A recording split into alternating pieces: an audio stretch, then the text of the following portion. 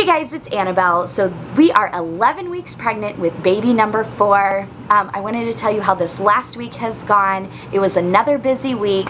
Um, we actually had our family vacation this weekend and so that went well. Um, but being busy and being away from home also brought on um, me feeling not well. Um, this is the worst that I have felt so far. I've been tired this whole time and things like that, but I have had a super increase with not feeling well. Um, and I have noticed that it has a lot to do with the amount that I drink and the amount that I am eating. If I don't get enough water, I instantly know because my head starts to um, like throb and hurt and I start to feel nauseous and if I don't eat consistently um, and like have something in my stomach at all times I have the, this growing nausea and I can just feel it coming on and then I get a pounding headache and it's I have to eat. And with being gone and away from home my meals were spaced out um, farther than what they are when I'm at home and so like this whole last week has brought an increase in me not feeling well and it was just not fun. We had a busy week again. It went by so fast. Um, I'm so very excited. I have an appointment this Friday, so hopefully we get to hear this little one um, if, as I said in my last video, we did not get to hear the heartbeat at my last appointment because my uterus is tilted back.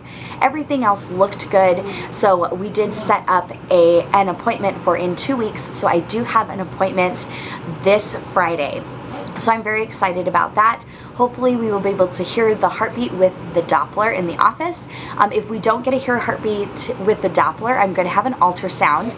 So I'm, I'm excited either way. Either we get to hear it with the Doppler or get to see this little one with an ultrasound. Um, I have not had any loss of symptoms or any cramping or bleeding or anything like that. Um, I, I am confident at this point that everything is okay. Um, it still weighs heavily in the back of my mind that we haven't heard the heartbeat yet.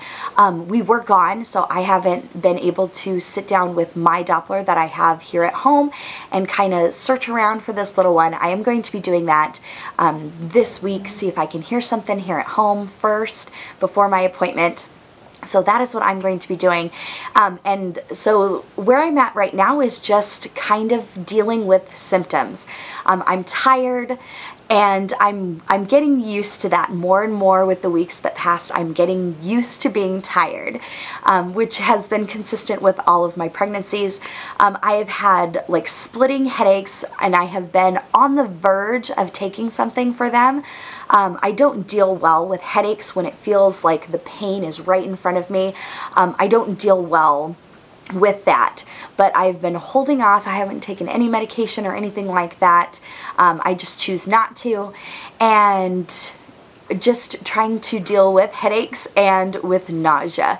Um, I was without my lemon water while we were on vacation, so I saw a definite um, or noticed the the how much I do rely on my lemon water here at home.